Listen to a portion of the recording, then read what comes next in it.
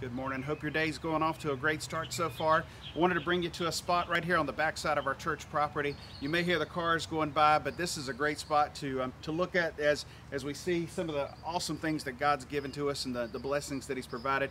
And I'm um, just a great day, just as you hear the birds chirping, as you see the green grass behind me and so many reminders of God's love, His faithfulness, and what a great world in a lot of ways that He's given to us. He's given us a great church, and you may not always see this angle, but this is pretty much the angle I look at almost every time I come to church. As I walk right back into that door to the, the office back there, and a place that we're able to go and prepare and be ready, and a place that can sometimes even just hold our stuff as we come and try to serve the Lord together. I'm, I'm, looking out uh, on the other side of the camera. I'm looking at the world around us and seeing people moving. I see people coming home from work or people going to work and people who are going to the grocery store, people who are taking care of their cars or getting gas, all these things that God's given to us. And so many things around us that can often just consume our attention in so many ways. And in Matthew chapter 6, we read that, that God tells us that we can't serve all of our stuff and God too that if we get so consumed in what we have that, that we can often get our eyes fixed only on that and we're going to be distracted and not see him for who he is.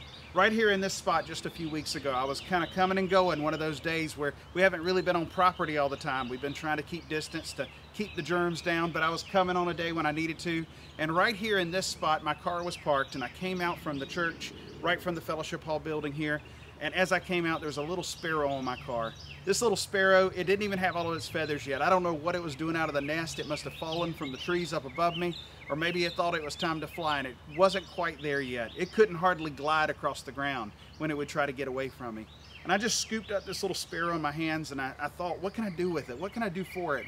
and Paige, my wife, and I, and, and, we were we were looking at this little bird, and we were talking about what should we do? Should we call somebody? Do we take it to a vet, or do we try to take it home? And I didn't know that I could take it home. I didn't know if I'd get in trouble for doing that, if I should even try, because I was just worried what would I do to this little bird? And I thought, well, maybe its mom's around. Maybe, maybe it will be taken care of. And I just did my best. I scooped up this bird and I put it right here in these bushes and just literally was hoping, praying that through the night a raccoon or a cat or something else wouldn't find it. Now I can't finish the story with a great story of seeing the bird later and me and the bird becoming friends. None of that happened down the road, you know. I don't know what happened to the bird. I realized though it's not mine to worry about. I wasn't called to be the father or mother of that little baby bird. I wasn't called to take care of that bird, but it reminds me of Matthew chapter 6 that that God would tell us that he loves us so much more than the great creation he's given us.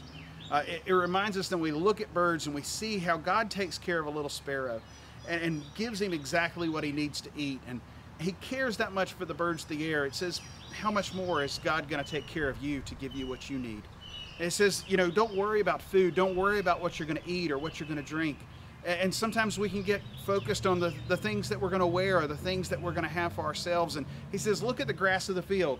He says that, that Solomon and the best robes he ever had never looked as good as God's creation on display for his glory. And if God cares that much for the things that He's made that ultimately are for us, how much more does He care for us too?